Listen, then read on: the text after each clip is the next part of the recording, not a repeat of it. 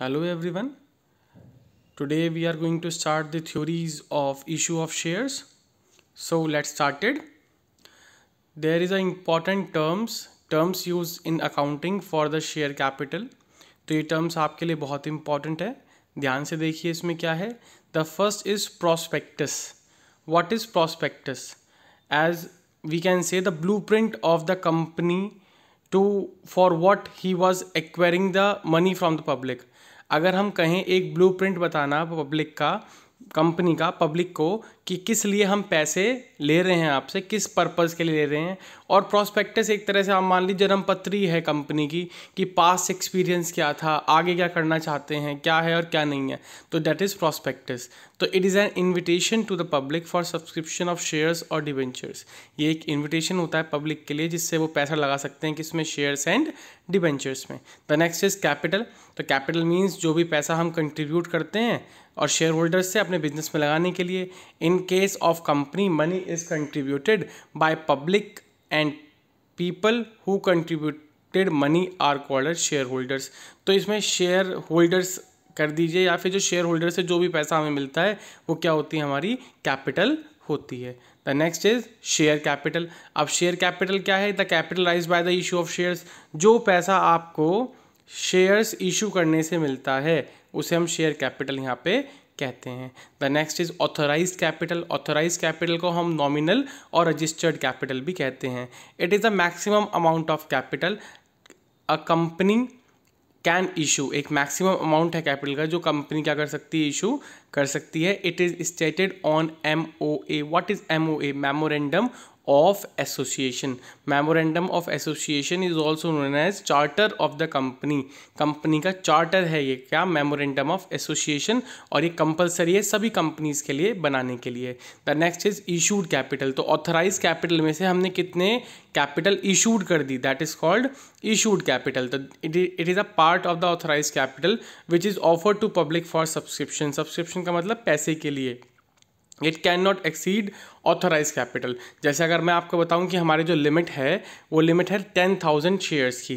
तो उसमें से हम सिक्स थाउज़ेंड शेयर्स इशूज़ कर सकते हैं इशू कर सकते हैं। ठीक है, कभी टेन से ज़्यादा हम नहीं कर सकते। तो मैक्सिमम लिमिट आपकी ऑथराइज होती है, उसके में से ही जो हम इशू करते हैं, उसे हम इशूड कैपिटल कहते हैं। The next is called up capital it is amount of the nominal value of shares that have been called up by the company for payment of subscribers towards the shares अब called up किसे कहते हैं? दस रुपये का एक share है और मैंने छः रुपये मंगाए हैं।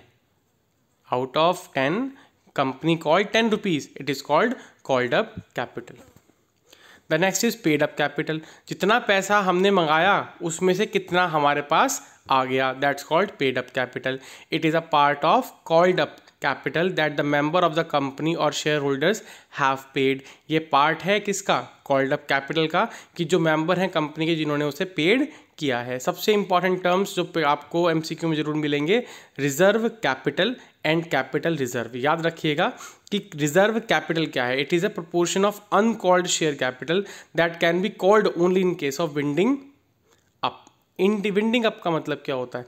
विंडिंग अप का मतलब होता है कंपनी के बंद होने का। ये एक ऐसा पार्ट होता है शेयर्स का जो हम तभी मंगाते हैं जब क्या होता है, हमारी फर्म बंद हो रही होती है। दैट्स कॉल्ड रिज़र्व कैपिटल और कैपिटल रिज़र्व क्या है? तो अगर हम बात करें it is a capital profit not available for distribution as dividend ये कैपिटल प्रॉफिट होता है, कोई भी चीज़ से हमने पैसा कमाया, मगर वो डिविडेंड हम यूज़ नहीं करने वाले। डिविडेंड का मतलब क्या होता है? प्रॉफिट मतलब एक तरह से जो सारा पैसा खर्च करने के बाद जो पैसा हमारे पास बचता है, उसे हम डिविडेंड कहते हैं। तो जिस रिज़र्व को हम शेयर होल्डर्स को नहीं दे सकते that's called capital reserve it is a capital profit not available for distribution as dividend जो किस चीज़ के लिए नहीं है? डिस्ट्रीब्यूशन के लिए नहीं है। The next is issue of shares at par par का मतलब होता है दस रुपये का शेयर है, उसे दस रुपये में ही इशू कर देना। मतलब इशूड वैल्यू किसके बराबर होगी? उसके फेस वैल्यू से। तो shares are issued at par when they they are issued at the price equal to face value a share with a face value of rupees ten issued at rupees ten ये चीज़ बड़ी common है, आपको पता भी होगी। The next is most important issue of shares at premium सबसे important part है आपका कि फेस वैल्यू टेन रुपीज़ है। और मैं मांग कितने रहा हूँ? मैं उसके ट्वेल्व रुपीज़ मांग रहा हूँ। तो जिस, जो ज़्यादा चीज़ मैं मांग रहा हूँ, उसे हम कहेंगे प्रीमियम। उसे हम कहेंगे premium. The shares are issued at premium to the public by well manage and financially well companies through the I P O I P O मतलब initial public offer. Initial public offer अभी समझेंगे B S T में भी है आपके, जिसमें क्या होता है आपका, कॉल्ड कॉल्ड वैल्यू ज़्यादा होती किससे? फेस वैल्यू से। Security premium reserve account is made for this purpose इसके लिए हम क्या बनाते हैं? सिक्योरिटी प्रीमियम रिज़र्व अकाउंट बनाते हैं।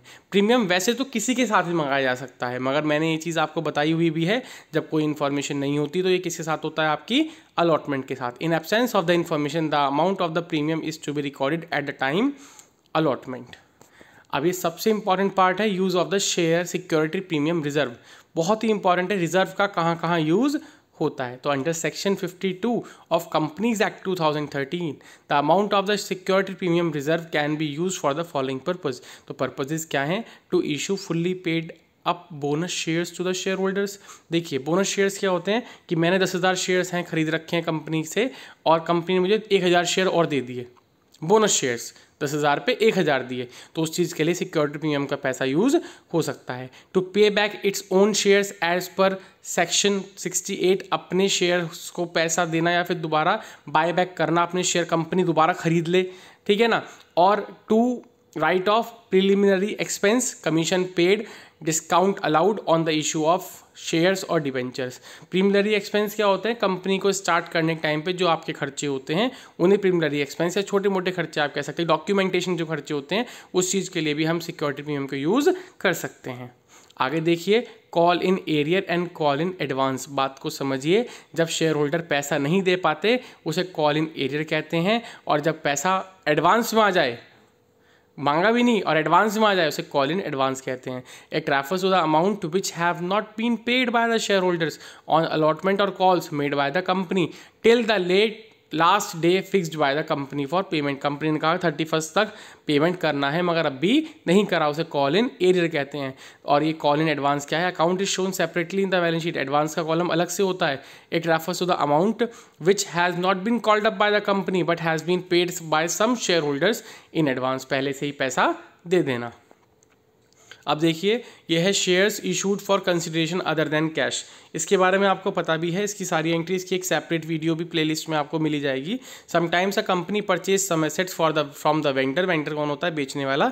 And instead of paying the vendor in cash the company में decide to issue the shares to the vendor is known as issue of shares consideration other than cash. Shares can be issued at par and at premium. तो पहली entry आपको पता ही है sundry assets account debit to vendor इसके बाद जितनी भी एंट्रीज होंगी though vendor is a receiver तो vendor account debit to share capital फिर vendor account debit to share capital to security premium reserve अब बात करते हैं some changes in the companies act 2013 issue of shares at discount याद रखिए किसके, कौन से सेक्शन के अकॉर्डिंग हम कभी भी शेयर्स को डिस्काउंट पे इशू नहीं कर सकते तो सेक्शन 53 के according the company would no longer to permit to issue shares at discount the only shares can that could be issued at discount are sweat shares इसके बारे में भी हम समझेंगे स्वेट इक्विटी शेयर्स क्या होते हैं where in company can issue to its employees और distribution in lieu of their service under section 54 2013 act and the other name given is employ stock option scheme देखिए, सिर्फ़ कंपनी अपने जो existing share holders हैं या अपने जो sorry share holders नहीं एम्प्लॉयज़ या डायरेक्टर्स को ही दे सकती है। कभी भी पब्लिक को इशू नहीं कर सकती। आगे देख लीजिए प्रिलिमिनरी एक्सपेंस क्या होते हैं? Are written off in the year in which they are incurred देखिए, जिस साल वो कराए जाते हैं, उस साल ही वो इनकर्ड करते हैं as per the section accounting standard twenty six they should be return off first from security premium reserve पहले वो किससे आते हैं? सिक्योरिटी प्रीमियम रिज़र्व से। अभी हमने पहले पढ़ा था ना तो जिस साल जो खर्चे होते हैं, उस साल ही हमें पूरे करने होते हैं। And its absence from profit and loss in the same year और अगर सिक्योरिटी प्रीमियम रिज़र्व नहीं है तो किसमें आएँगे? सिक्योर प्रॉफिट एंड लॉस तो एमसीक्यू आपका बन सकता है। प्रीमियरी एक्सपेंसेस किसमें से रिटर्न ऑफ़ होते हैं? तो आप बताएँगे सिक्योरिटी प्रीमियम रिज़र्व अकाउंट में से। आगे देखिए, सबसे इंपॉर्टेंट है ये।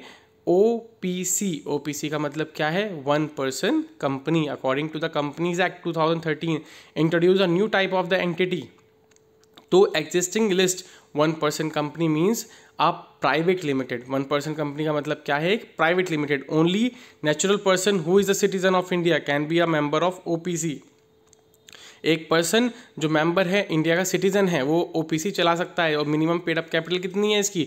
वन लाख मतलब कम से कम कितना है? एक लाख रुपए। And can be form for the business as well as charitable purpose और किस चीज़ के लिए कर सकते हैं हम इसे? बिज़नेस के लिए भी और चैरिटेबल पर्पज के लिए भी यूज़ कर सकते हैं। आप ध्यान से समझिए व्हाट इज़ नॉर्मल सब्सक्रिप्शन मैंने कंपनी को दस हज़ार शेयर्स दिए और कंपनी ने दस हज़ार ही खरीद लिए sometimes by chance the number of shares applied by the public is same as number of shares offered by the company. It is known as normal subscription. जितने दिए, उतने ही पब्लिक ने खरीद लिए। इसी के साथ आता है अंडर सब्सक्रिप्शन अब अंडर सब्सक्रिप्शन क्या है? Under subscription is a situation जब शेयर्स हमने कहा ज़्यादा के लिए, मगर अप्लाई पब्लिक ने क्या करे? कम करे। The number of shares applied is less than the share offered to the public all the applicants from the shares are accepted the accounting entities are made on the basis of the shares applied by the public rather than issued मतलब ये तो आपको पता ही है भाई मैंने दस हज़ार ऑफ़र करे पैसा मुझे आठ का मिलेगा ना, अगर पब्लिक ने आठ खरीदे हैं तो।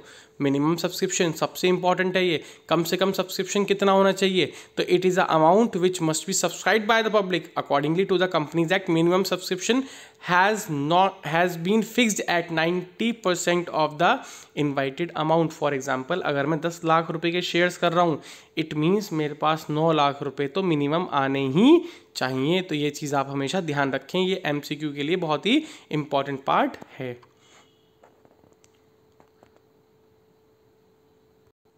और next topic is over subscription अब ओवर सब्सक्रिप्शन का मतलब है, हमने इशू करे कितने? दस हज़ार और पैसा आ जाए हमारे पास पंद्रह हज़ार रुपये का। Shares are issue to the public by the well manage and financially strong companies through the IPO अभी फुल फॉर्म बताई थी आईपीओ की इनिशियल पब्लिक ऑफ़र तो over subscription is a situation when share applied is more than share offered मतलब कभी भी, मगर एक बात आपको ध्यान रखिए, जितने इशू करे हैं, उससे ज़्यादा हम कभी भी शेयर्स नहीं दे सकते। तो इसके ऑप्शन भी हैं, देख लीजिए। Three alternatives are available to director in this situation पहला है रिजेक्शन ऑफ़ एप्लीकेशन दूसरा है प्रोराटा अलॉटमेंट और तीसरा है full allotment to some applicants देखिए, ये सिचुएशन आपके सामने आएँगी और इसकी एक अलग से सेपरेटेड वीडियो भी बनी हुई है ओवर सब्सक्रिप्शन की।